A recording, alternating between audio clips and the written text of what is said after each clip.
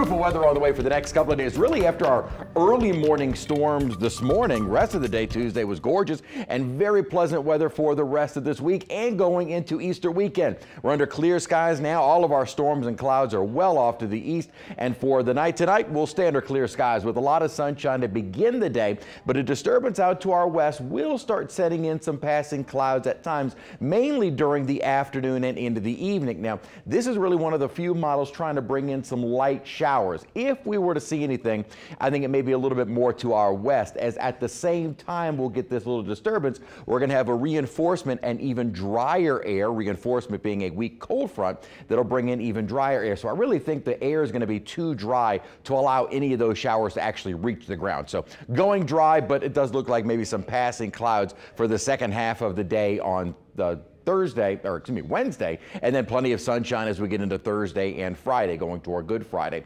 Mostly clear out toward downtown at the moment, and it's been fairly mild, 64 degrees, dew points in the 50s right now, and winds light out of the southwest at 3 miles an hour. Winds have been kind of all over the place.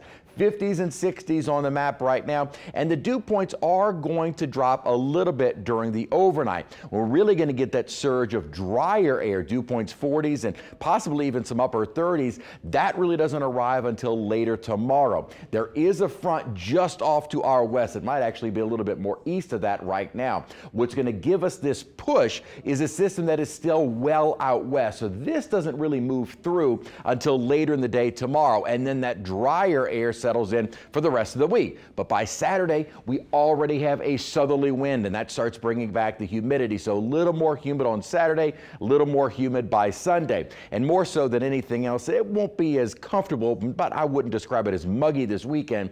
We're going to be much warmer, near 80 degrees on Saturday and likely lower 80s for Sunday. Very light wind, almost a non-existent wind overnight tonight. And with the clear skies and lowering humidity, we will be getting a little bit cooler. Here's the system I'm talking about. This is what we're waiting to push through. The base of this upper trough does have a little disturbance embedded within it, moving toward uh, West Texas now and the panhandle. This feature is what will bring us the cloud cover during the day tomorrow. And again, not much, I think, in the way of any rainfall, but we may see a few showers off to our west. Clouds pass by during the second half of the day on Wednesday, and then by late Wednesday night, early Thursday, we're back under clear skies. And again, we've got that next front that'll move on through, which will help to lower the humidity a bit more as we go later in the day. I went upper 40s for the North Shore. I'm thinking more 50s generally both sides of the lake. The humidity isn't dropping as fast as I thought it would, so we'll say 50s overnight and to start the day tomorrow. Then during the day tomorrow, partly sunny skies. We'll see,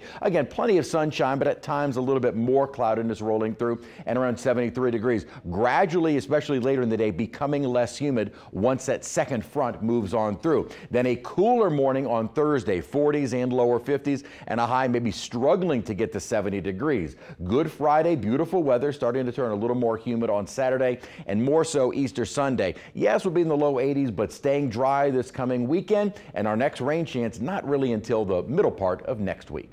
Not bad. Thank